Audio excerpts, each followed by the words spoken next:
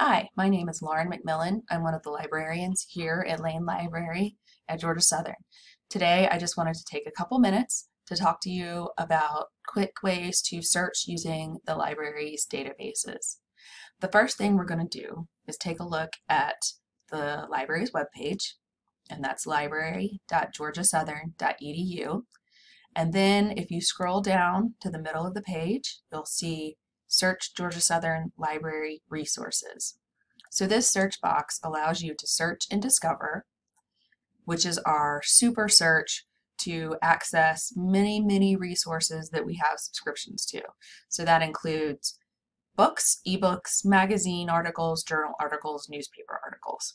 So for this class, you're going to need to access scholarly resources related to um, literature. So for this one, we're going to do a search for girlhood and the bluest eye. So if you take a look here in the search bar,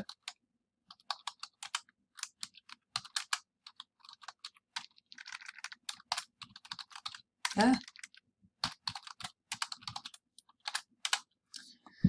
I wanted to talk about how I set up this search. So we have the theme of girlhood, and we want to look for resources wherever that appears. So the theme of girlhood as it appears in the bluest eye.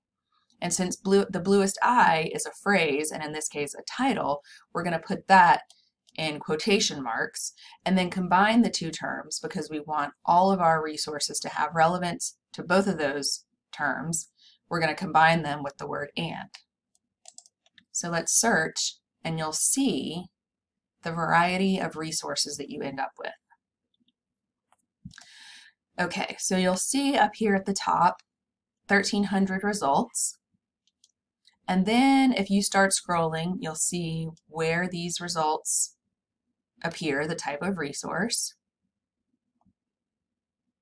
Okay, so here's an ebook and the rest have been journal articles.